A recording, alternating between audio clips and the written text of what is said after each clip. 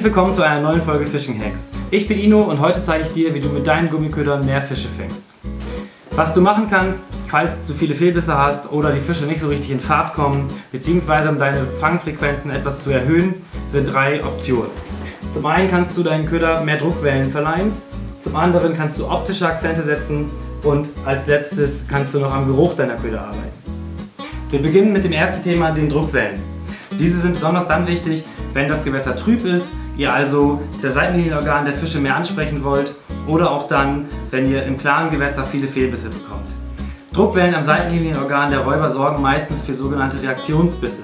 Das heißt, Hechte, Barsche und Zander gucken sich die Köder gar nicht so richtig an, sondern aufgrund dieser starken Druckwellen werden sie zu einem Reaktionsbiss verleitet. Das sind meistens sehr, sehr starke Anbisse aus dem Nichts, die euch fast die Route aus der Hand hauen. Solche Druckwellen könnt ihr an euren Gummifischen deutlich erhöhen, indem ihr mit sogenannten Screw-in-Blades arbeitet. Das sind eigentlich Spinnerblätter, die ihr auf verschiedene Weise an euren Gummifischen montieren könnt.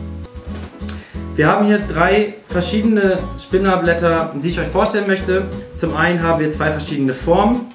Da haben wir einmal das sogenannte Willow Leaf, also ein schmales Weidenblatt, Spinnerblatt mit einer sehr, sehr hohen Frequenz.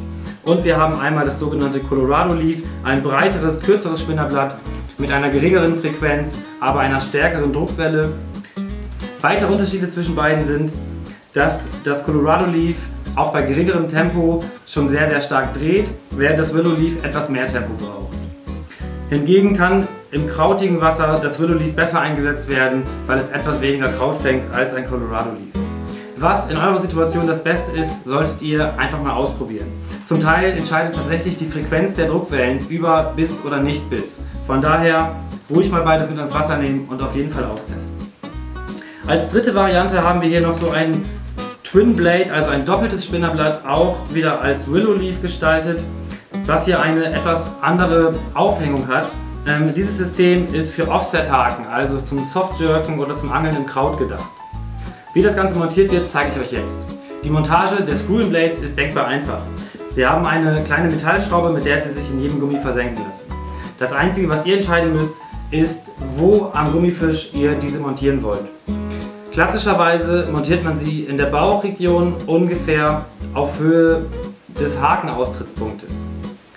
Das macht man deshalb, weil das Spinnerblatt meistens den Punkt markiert, an dem dann auch der Anbiss stattfindet und den möchte man natürlich in der Nähe des Hakens haben. Das Ganze würde dann so aussehen.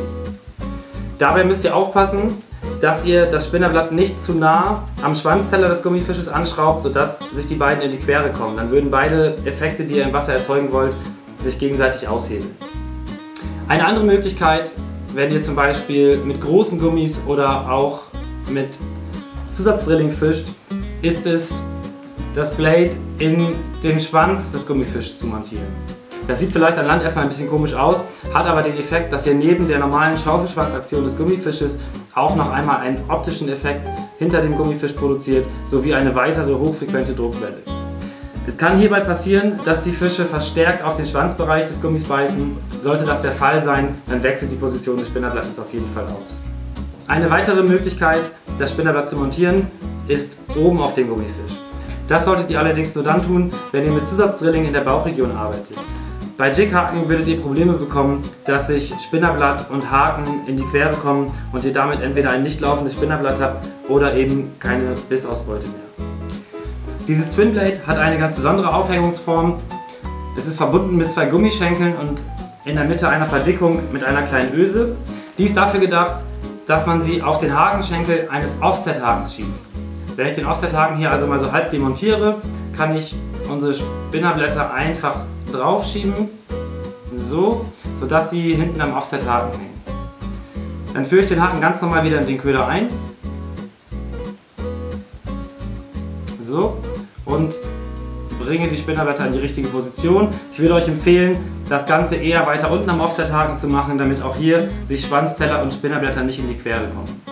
Besonders empfehlen kann ich euch diese Montage mit Softjerks. Wenn ihr also Gummifische benutzt, die einen Pintail haben, über keinen Schaufelschwanz verfügen, dann bekommt ihr durch diese Spinnerblätter eine sehr langsame, taumelnde Absinkphase mit einem hochfrequenten Drehen dieser beiden Willow Leaves. Auch wenn Spinnerblätter neben den Druckwellen natürlich auch bereits optische Akzente an eurem Köder setzen, da sie sehr stark Sonnenlicht reflektieren, kann man da noch einen drauflegen. Mit sogenannten Akzentmarkern, also geflavorten Markern, könnt ihr zusätzliche UV-Farbe auf euren Köder bringen. Dabei sind der Kreativität keine Grenzen gesetzt. Neben sogenannten Strike Points, also auf Hakenhöhe gesetzten farbigen Akzenten, die die Fische zum Anbiss an dieser Stelle äh, überzeugen sollen, könnt ihr eure Fische je nach Gewässersituation, Trübung und auch Tageslicht komplett neu einfärben. Diese Farben halten sehr, sehr lange, mehrere Angeltage, bleichen nur langsam aus und sind somit wirklich eine Erweiterung eures Farbenspektrums. Zudem sind die Gerüche sehr, sehr stark, sodass auch diese lange am Köder haften. Passt auf jeden Fall auf, dass ihr euch damit nicht auf die Finger malt. Wir haben verschiedene Geruchsformen hier, und zwar einmal Shrimp-Aroma, dann haben wir noch Köderfisch, wir haben Krebs und wir haben Knoblauch. An manchen Tagen sind zusätzlicher Geruch, Druckwellen und optische Reize das Richtige. Wenn das nicht passt, habe ich noch einen zusätzlichen Tipp für euch. Und zwar könnt ihr auch dafür sorgen, dass euer Köder noch mehr Geräusche macht. Das erzeugt ihr, indem ihr kleine Glasrasseln in euren Köder steckt. Diese sind extra für Gummifische produziert, haben eine spitze Seite und kleine Metallkugeln in sich und können letzten Endes überall im Köder angebracht werden.